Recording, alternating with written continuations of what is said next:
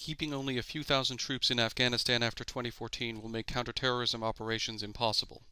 Al Qaeda bases in Kandahar, Khost, and Nangarhar provinces in the 90s have been driven to remote border areas. The main terrorist bases are in Miram Shah in Pakistan and in the Konar Nuristan region of Afghanistan. U.S. bases today are ideally located to disrupt terrorists in and around those areas. U.S. forces in Khost, Orgun, Asadabad, and Jalalabad can quickly identify and strike terrorist targets.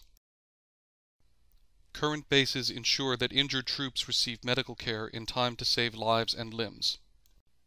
Two Afghan Army Corps are fighting insurgents and terrorists today, but they need our help. Retreating to one base puts many miles and huge mountains between our troops and their targets. We simply cannot conduct counterterrorism operations in South Asia from such a footprint.